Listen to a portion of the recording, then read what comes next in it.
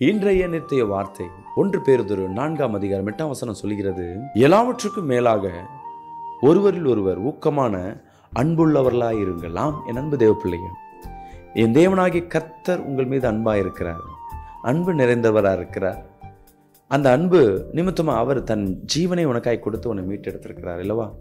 நீங்களும் கத்த சொல்கிறார் எல்லாவற்றுக்கும் இந்த உலகத்தில் நீ எதை செய்கிற எதை செய்யலைன்னா கூட பரவாயில்ல ஒரு காரியத்தை நம்ம செஞ்சாகணும். எல்லாவற்றின் மேலாக ஒருவரில் ஒருவர் அன்பு கூறுவதில் ஊக்கமுள்ளவர்களாக இருக்கும். எது எது நம்ம சாப்பாட்டுக்கு ஓடுவோம் பணத்துக்கு ஓடுவோம் நம்ம தேவைகளுக்காக ஓடுவோம் அதே போல் அன்பு செலுத்துவதற்காய் இன்னொருத்தரை தேடி ஓடும்படியாக தேவனாகிய கத்தர் விரும்புகிறார். இன்னைக்கு அதை செஞ்சு பாருங்களேன். தேவன் உன் மீது வைத்திருக்கிற அன்பை நீங்கள் பார்க்க முடியும். உன் குடும்பத்தில் ஒரு பெரிய சமாதானத்தை பார்க்க முடியும். அவன் அன்பு தேவப்பிள்ளை ஒருவரில் ஒருவர் ஊக்கமுள்ளவர்களாய் இருக்கணும். எதில்? அன்பு செலுத்துவதில்.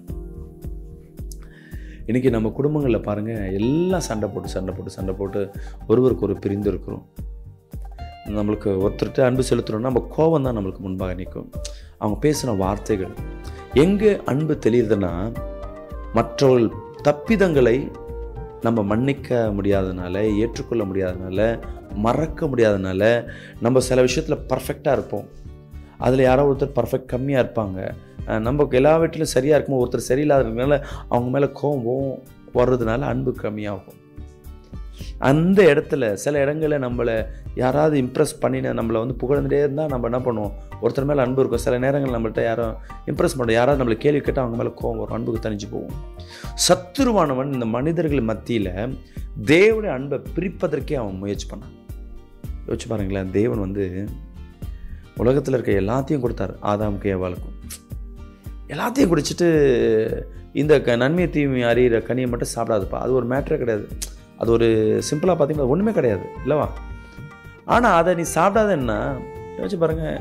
இந்த ஆதாம் வேலையப்பா எல்லாத்தையும் சொல்லிட்டார். இது எதுக்கு சாப்பிட? யோசிக்க கூட யோசிக்கல. அவன் பாட்டுங்க அவன் வேலையை பார்த்துட்டு இருந்தான் இந்த சர்பம் பாருங்கள் பிசாசானவன் எல்லாரோடையும் போயிருப்பான். ஆனால் சர்பம் வந்து அவனுக்கு ஈஸியாக போயிடுச்சு. உள்ளே போயிட்டு அந்த சர்பத்தின் வழியில் ஆசை வார்த்தை காட்டுறான்.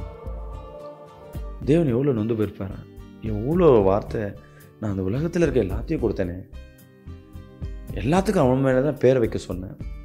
எல்லாமே அவனுக்கு அடிமையாக இருக்க சொன்னேன். இந்த ஒரு வார்த்தை இதை மட்டும் செய்யாதன்னு சொன்னேன். மற்ற எல்லாத்துக்கும் நான் பர்மிஷன் பண்ணேன். ஆனால் அவன் எல்லாத்தையும் விட்டுட்டு இந்த ஒரு காரியத்தை செஞ்சு நிற்கிறான் எவ்வளோ மனசு துர்ப்பப்பட்டிருப்பான் அங்கே தான் முதலாவது மனுஷன் மேலே என்ன பண்ணுறாரு தேவன். மனஸ்தாபப்படுகிறான் நோவா காலகட்டங்களில் சொல்கிறாரு மனிதனை உண்டு பண்ணதை நான் மனஸ்தாபப்படுறேன். காரணம் அவர் மேலே வைத்திருக்க அன்பை நம்ம புரிஞ்சுக்கல. தேவன் உன் மேலே அளவில்லாத அன்பு வச்சிருக்கிறாங்க அன்பு ஜனமே. அளவில்லாத அன்பு. இன்னைக்கு ஒருவர் ஒரு அன்பு செலுத்தல் என்ன பண்ணுங்க?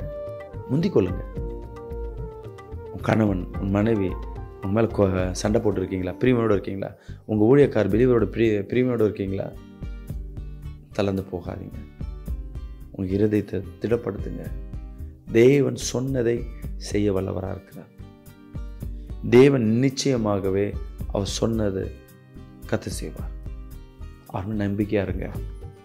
யார் மேலே கசப்பு வைக்காதீங்க. உங்கள் ஆசீர்வாதம் அதில் இருந்து தடை பண்ண போகுது கத்தர் வைத்திருக்க ஆசீர்வாதம் நம்ம வாழ்க்கையில் ஏன் தடைப்படுதுன்னா அன்பு இல்லாதபடி இருக்கும். நம்ம இன்னைக்கு முந்திக்கொள்ள போகும்பொழுது கத்தர் உங்கள் வாழ்க்கையில் பெரிய காரியம் செய்வாராங்க காட் பிளஸ் யூ கத்தர் உங்களை ஆசீர்வதி